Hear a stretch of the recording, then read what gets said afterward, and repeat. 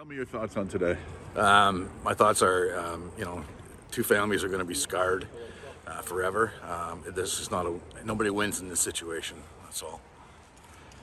If I can, what's it been like going through the even the court process? Uh, can I say hell?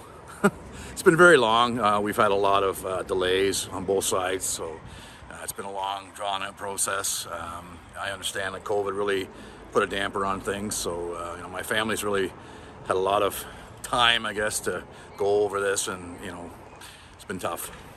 Last question, if I can, how how is your family doing? My family's doing okay. We're getting support. We have lots of support from family and friends. Uh, we're getting through this one day at a time.